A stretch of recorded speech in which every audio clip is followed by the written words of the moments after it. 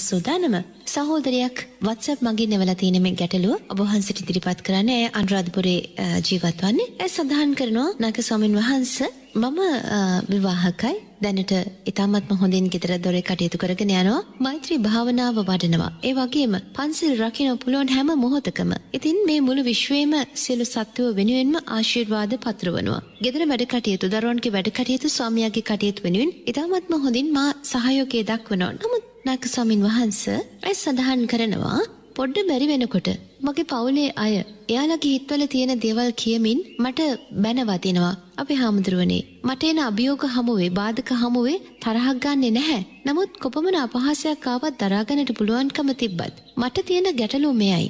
මා පින් එකතු කරද්දී මා කුසල් රැස් කරද්දී අපේ හාමුදුරුවනේ මට දොස් කියන මට බනින අයට අකුසල් රැස් වෙනවා නේද? මේ ගැන පහදා දෙන්න කියලා ඒ තාමත්ම ගෞරවයෙන් ඉල්ලා සිටිනවා. අපේ නායක ස්වාමින් වහන්සේ මේ පිළිබඳවයි ඔබ වහන්සේකින් සිරස් FM සනරාමර සෙවණින් අප විමසන්නේ මේ මොහොතේදී. එතකොට දුව අද මේ අහපු ප්‍රශ්නයට අනුකූලව ගත්තට පස්සේ ඉතින් අපි මේ හැම තැනකටම උත්තරය හොයන්නේ මේ ධර්මයෙන්නේ මේ ධර්මයෙන් තමයි මේ උත්තරය සොයන් ඉති එක හරි වැදගත්තේ කෙනෙ ජීවිතවලට එන්න ප්‍රශ්නවලට බොහෝ දෙනෙක් උත්තර හොයනවා හිතුවක් කාරක්කමට සහ එපිළිබඳව ප්‍රවීණත්වයක් නැති නැති ප්‍රශ්න ඇතිවෙන්න නැතිවිදුක් නැති වෙන විදිහට ප්‍රශ්නවලට ස්වාධීනව උත්තර හොයනවා තව බොහෝ එපිළිබඳව ඒ ප්‍රශ්නවල තියෙන තත්ත්වය හරිහැටි තේරුම් නොගත්තු.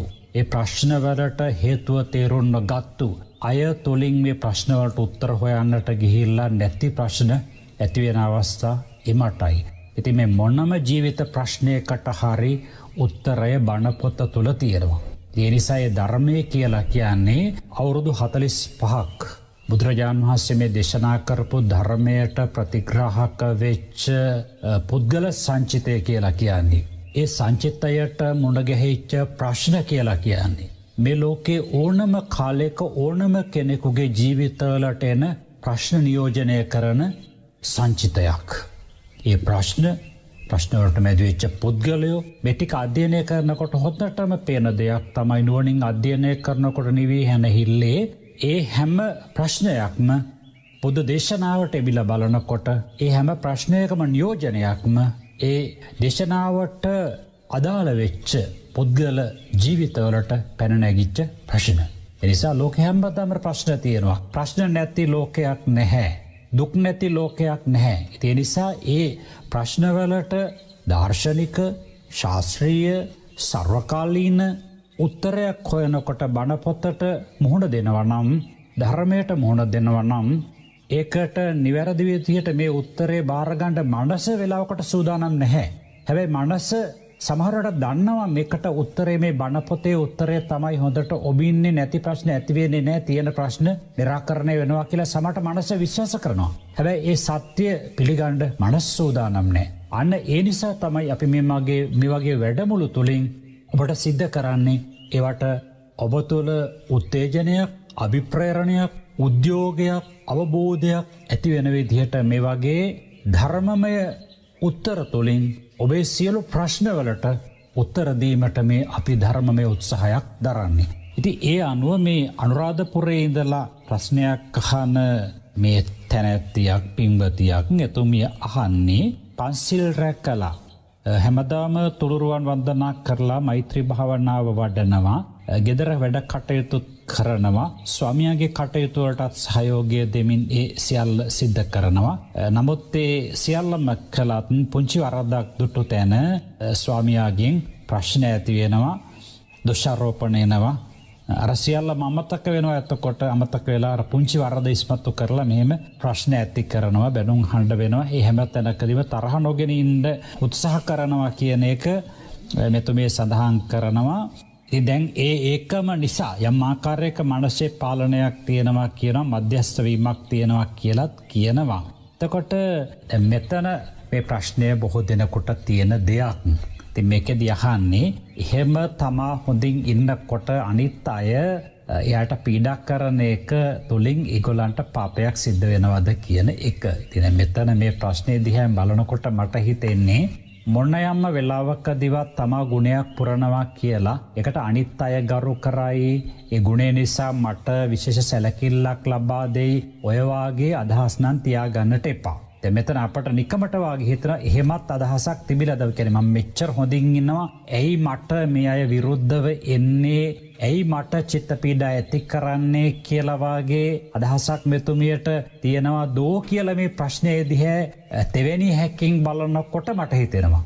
ඉතිය නිසා මම කියන්නේ නිවන්න අවබෝධ කර ගැනීමට කටයුතු කරන්න පුහුණුවෙන කෙනෙකොට දුව අසවල් අත්දැකීම ජීවිතයට නොයනවනං කියන අදහසක් නෙමෙයෙන්නේ.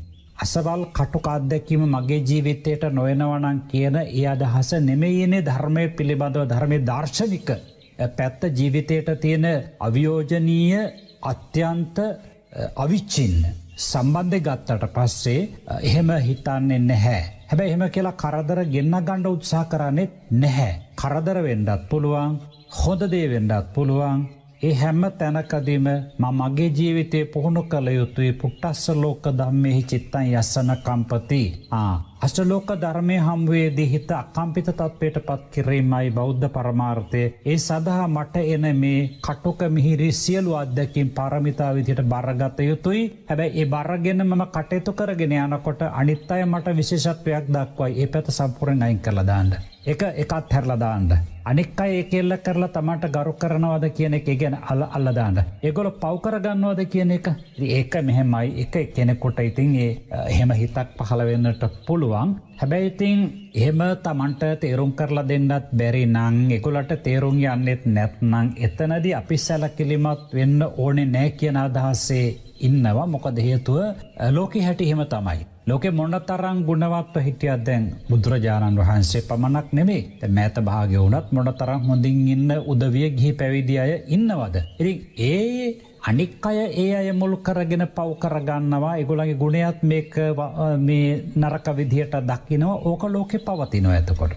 නින්දන්ති තුන්හි මාසීනං නින්දන්ති බහුබානිනං මිතභානිනම් පිනින්දන්ති නත්ති ලෝකේ අනින්දිත්තු. එකන් කතා කලත් බයිනවා. කතා නොකලත් බයිනවා. පමණට කතා කළත් බයිනවා. මෙලොකෙ නින්දා නොලබන කෙනෙක් නෑ ඉතිං ඔය අනිකුත් කයින් වචනය සිද්ධ වෙන සියලු ක්‍රියාකාරකම් වලදී. ඕක තියෙනවා. කවරක්ත් මේ ලෝකෙ නින්දා නොලබපු කෙනෙක් නැහැ. ඉති එනිසා මොන්නම වෙලාවකවත් මා නිතරම කෙනෙ තමා ගුණයක් පුරණවා කියලා තව කෙනෙක් එකට අනුගත වේවි. අනුගත වෙනවන හොඳයි. හැබැ අනුගත වේවි. ඇමා ගුණයක් පුරන් නිසා මාට එගොල ගරු කරාවි මට අනුකෝලවගොල පවතීවි. එගොලෝ මට අයහපතක් මට බාධ කරනකොට එගුලන්ට පවසිද්ධ වේවි. ඉගැන හිතන්ට යනට එපා. තමයි සියල්ලෝ ඔස්සේ තමන් ඒව ගස්සා බස්සා දාලා මොනව දෙයක්ුණත් වැඩි ගණන් ගන්නට එපා. එනිසා ඒවගේ තත්වයන්ට එනකොට මොනම අවස්ථාවක් දිවත් හිතන්නට එපා එ පැත්ත දැ මේක නම් කියලා තිය ඉතින් මේ තමා මෙහෙම හොඳින් ඉන්නකොට ධර්මාණු කොලව ඉන්නකොට අනිත් අය යට පීඩ ඇති කරන එක පෞසිද්ධ වෙනවාද කියලා හරි පෞසිද්ධ වෙනවා. එතැන් අපි ගත්ව සාමානෙන් ගත්තොත්න අපි දානමේ පින්කන් කියනකොට කිරණ තිරිසංගත්ත සතාට දෙන දානය මෙහම අනිසංසයි කියලා කියනවා. ඉට පස්සෙම ගිහිල්ල ගිහිල්ල ගිහිල්ල ගිහිල අන්තිමට කියන ලෝතුරා බුදුරජාණන් වහසට දෙන්න දානය මෙහම අනිසංසයි කියනවා. හැරි ටකොට දැගේ ගුණ පැත්තනේ එ අගුණ පැත්ත ගත්තට පස්සේ ආතිරිසා සතය ඝාතනය කිරීමෙන් තිරිසා සතයකොට පීඩා කිරීමෙන් ඇතිවෙන පපය. එළඟට ඊට පස්සේ සීලයක් නැති කෙනෙකුට පීඩා ඇති කිරීමෙන් ඝාතනය කිරීමෙන් සිදුවෙන පාපය. ඔහොම ගිහිල්ල ගිහිල්ල ගිහිල්ල ගිහිල්ලා ලෞතුරා බුදු කෙන්නෙකු ඝාතනය කරන්නට බැහැ. ලෞතුරා බුදු කෙනෙකු ඝාතනය කරන්නට බැහැ. බුදු කෙනෙකුගේ ඇගේ ලේ බින්දුවක් නමුත් සෙලෙව්වනං අනන්තර පාපකර්මයක්. ඒ නිසා යම් ගුණයකින් ඉහලින් ඉන්න කෙනාට එයා ඇසුරු කරගෙන ප්‍රාණඝාතයක් ඉළඟට යගේ දෙයක් සොරකං කිරීමක් එයා අයතා කාම හැසිරීමකට යොමු කර ගැනීමක් යට බොරුකීමක් යට කේලං කීමක් එයා පිළිබඳව නරක විදියට හිතීමක් ඉරියව්වක් හරි පැවැත්වීමක් එක පාපකර්මය බහුලයි. සමන කෙනෙකොට වඩා එක පාපකර්මය බහුලයි. එය ඇසුර කරගෙන කුසල් කරන කොටත් දානාදී එ කුසල කරමය ප්‍රබලයි. අර අකුසල කර්මය ප්‍රබල වෙනවාගේම තිය නිසා එබඳු